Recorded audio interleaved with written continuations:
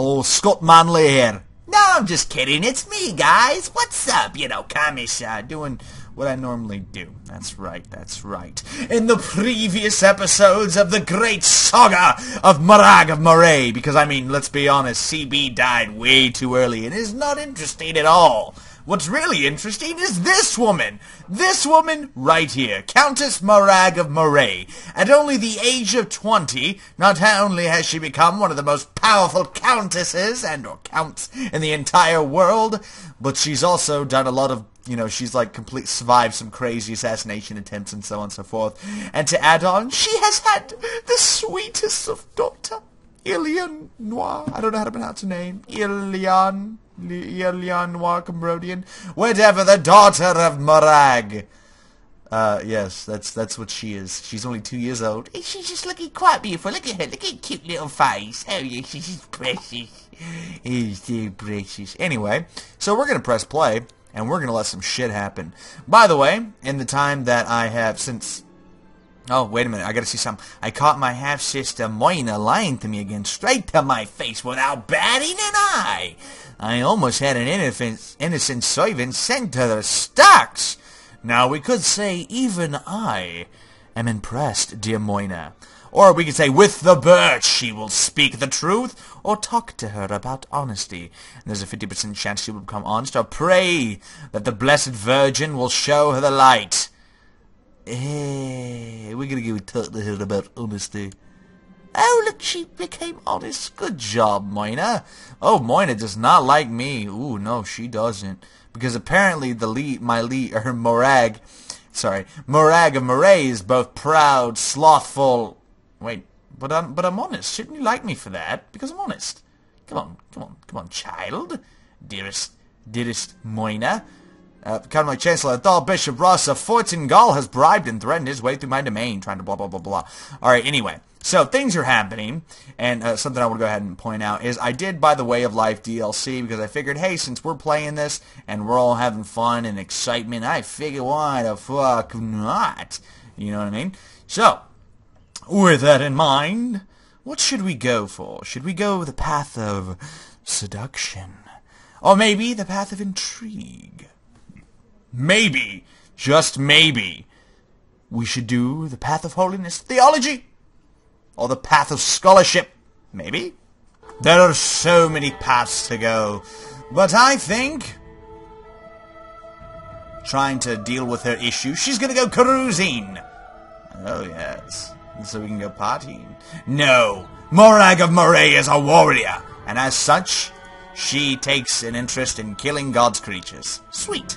Henry Thor's decided to go ahead and use claim on the title. Blah, blah, blah, blah, blah, blah. What a, what a dreck. So we should clearly deal with this asshole. Alright, we're gonna, we're gonna, we're gonna, I should probably improve my relations within my own county because my people don't like me. And probably because I'm a female ruler and uh, I have a female heir. Moina is impulsive and seems unable to tell right from wrong. What should I do with my wayward half-sister? No, we wanted to be just. Lose that trait. That trait sucks. It's the strap for her. You know, we should actually make her really, really shitty. You know, it makes sense, right? I mean, think about it. Like, she grows up, she might cause problems in the future to our sweet, sweet daughter. But even then, do we want our daughter to be the next heir? I don't know. I don't know. Maybe we should marry old Morag of Moray off to some foolish, retarded man. How about this guy? Olay, Chancellor of Moray. He's 30 years old. Uh, what is his stats? Oh, they suck. Everybody's stats suck here. Man, I don't know. I could go with Talor, but he's 57 years old. I need a better batch of individuals. Shall we invite one? Maybe? God, even my generals don't like me. Oh, goodness. That's not good. I think we need to play it safe.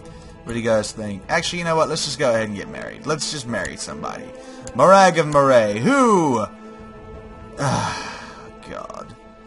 Eh, he's a coward, though. Eh, whatever. We're gonna marry to the 50-year-old man. Matrilineal. Yeah, that's right. That's right. Give me, give me your goodies, big man. Um, who are you? Gillespie?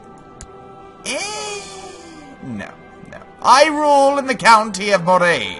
Fuck you. basically, is what I said, because I am Morag of Moray. Yes, yes, and my husband is old. Is so old, he's 37 years older than me. Oh, that is just one big bucket of no bueno. But whatever. We will just have to do what we can with what we have. Yes, yes, yes, yes.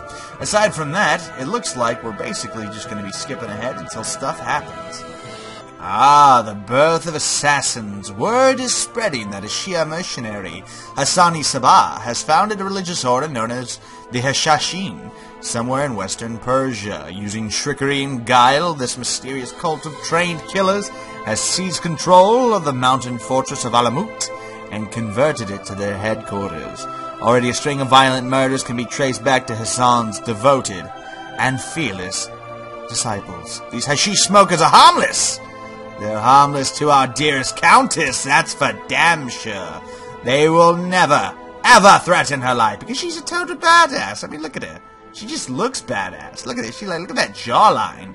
That jawline is just screaming, oh, I am going to poke your eye out with a fork, you dirty bastards. Ah, another event. My boring old husband Talor told me his obligations are, are, that's, that's spelling error, I think. Yes, obligations are more important than my well-being. He might be right, though. I should probably try and find a friend among the courtiers. Absolutely not, you dirty bastard! I am the Countess! You can't... What is this? What is this? More important, your obligations. The only obligation you have, man, is to give me children! That is literally your only obligation, aside from being a spy master, commander, and the Earl of Moray. Those are big things too. But aside from that, you dirty bastard, you're meant only to give me eligible children of my demons. That's right. Hmm. People just getting all uppity nowadays. The merry men of Moray. My sheriff came to me today, looking harried and limping slightly. My lord, I fear I have grave news. A band of robbers and poachers, calling themselves the Merry Men of Moray, are on the loose in your forest. I have tried to find them, but alas, to no avail. They chased me out of the forest several times. The last time an arrow hit me straight in my buttocks. Oh my, I just, oh, that's so terrible. That's so terrible. Sorry, do go on. I could take the prestige, or we could do, we need to set a trap for them with a 25% chance to become diligent, and a 40% chance the merry men make a move. Alliteration! Seriously, though. Or ignore them. No, we're not going to ignore them. We're going to say blah, blah, blah, blah, blah. Do go on. Ah, bastards. They didn't do anything. Oh, I'm so disappointed. I gave up that diligent possible perk for nothing. For absolutely nothing. So, let me tell you what I am planning, dear comrades. I am planning a war against those of a Atholl. That's right. It seems like we can get some relatively cheap armies to help us fight, should we need them. You know what we could do? We could actually hire these guys first and uh, send them to fight against the, uh, the, the, the, the dirty Atholl warriors. Because look, he's actually got a levy of 2.2. That's kind of big. He's actually kind of big. How'd he get? He's got some in. How you do that? Huh? huh? You ambitious little bastard. Huh. Well, anyway, like I said, we could get mercenaries, because our armies are not big enough to fight him, and our vassals are a bunch of assholes. So they're not going to get involved anyway. Yes, I don't know. I think that's what I'm probably going to do. Although, I do believe that I basically need to fabricate a claim on him. I could do a war of aggression but people sure don't like that. The White Stag. Lately you have heard persistent rumors from peasants and travelers in the wild that a strange mythical beast has been sighted in your realm. It's a white stag, powerful and elusive.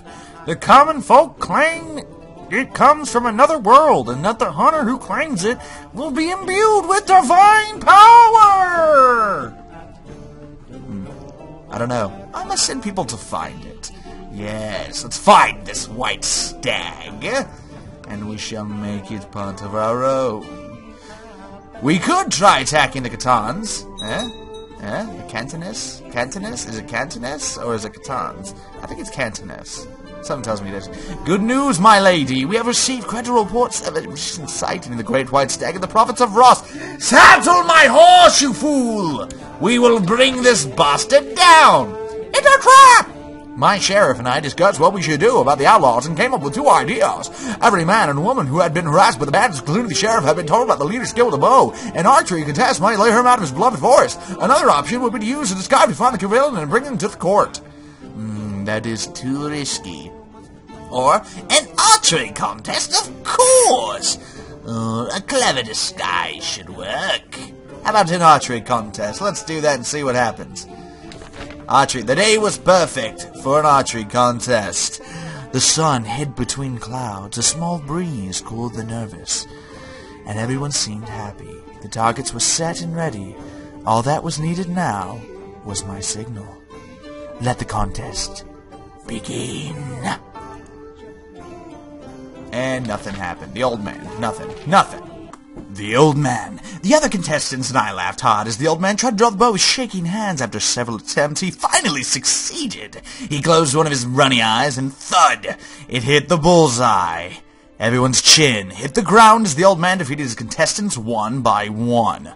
The poacher we had set the trap for was nowhere to be seen, so I had to grumpily give the old man his admittedly well-earned prize, a golden arrow. Hmm, well, this sounds very familiar. What happened? It was a success and a failure. That didn't work. Frustration sweat through my veins as the archery contest proved unsex unsexful, unsexful, unsuccessful in luring and trapping the elusive poacher. Perhaps we should try something else. We could leave him and his gang alone. Or a smelly peasant should not arouse the suspicion let's try that one. Devil in disguise, I remove my beautiful fur-lined coat reluctantly ease myself into peasant-sticking clothes, a woolen tunic, a small hat, and muddy boots completed my disguise. Now, me own ma wouldn't recognize me. Now, let's see how this would work. Is this really befitting a countess? That's a very good question. Well, let's see how this works. Hopefully, I don't get violated. Disguise revealed. I had not taken one step into the Forest before an arrow buried itself in the ground just in front of my toes. I froze for a short second before I started struggling to see it my own sword out of a tiny place. When I finally freed my sword, a man clad in green stood before me. He held the greatest bow I have ever seen, with an arrow on its string aimed at me. Leave, he said, and I obeyed immediately. Behind me, the forest echoed with thunderous laughter. Oh, how could you do that to sweet, beautiful Countess Moraga of Moray? Hmm. Well then, it seems Robin Hood is fucking with me. and with that, oh wait, wait, wait, oh, nothing, something else happened. Wait, we gotta do this first. Okay, I gotta pause it. We're gonna pause it here. This is where we're gonna pause it. so much is going on, I can barely keep up. Anyway, this has been coming, Commissar Bro. Thank you so much for watching another episode of the saga of Moraga Moray. She's 23 years old now, married to an old man, and Robin Hood is apparently an asshole. But again, we're gonna find out and see what happens next time. In the what, the fourth episode? Fourth, fifth? I don't know. I can't keep track. I'm terrible with numbers. This has been Commissar Bro. I'll see you next time.